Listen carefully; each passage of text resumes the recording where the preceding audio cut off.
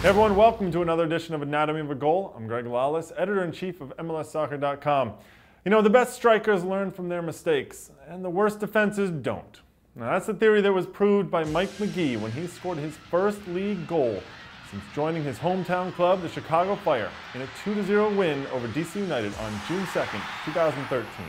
Let's wind it back and break it down. And before we get to the actual goal, we need to look at a play that took place a few minutes earlier. At this point, the Fire are up 1-0, and United are pushing for the equalizer. Now that explains why they're playing such a high defensive line and subsequently resorting to desperate offside traps. In this case, Perry Kitchen is late to step up and Magee goes in alone. Now watch what happens. He dribbles into the area and fires his shot straight into goalkeeper Joe Willis. The problem is that he never really gives himself an angle to shoot, so Willis is able to close him down.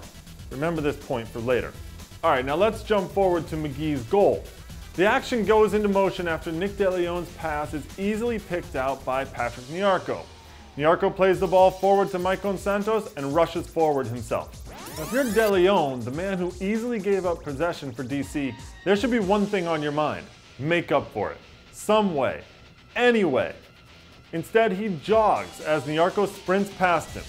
And to be fair to De Leon, he is gassed at this point, and he even looks like he's struggling with some kind of an injury. But regardless, Nyarko has acres of space in front of him when Maicon Santos plays the ball. Oh wait, did the DC trap actually work this time? Was Nyarko offside? Some of the United players certainly think so. In fact, they're so certain that later, John Thorrington will have a calm, reasonable discussion with the officials about it, and he'll pick up a yellow card for his efforts. But here's the truth, John.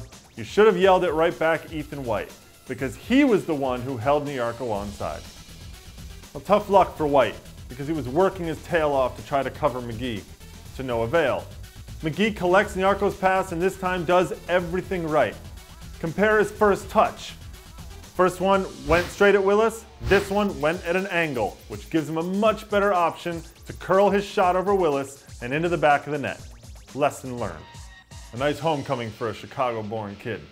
Well, that's it for this episode of Anatomy of a Goal. Join me again next time when we'll wind it back and break it down.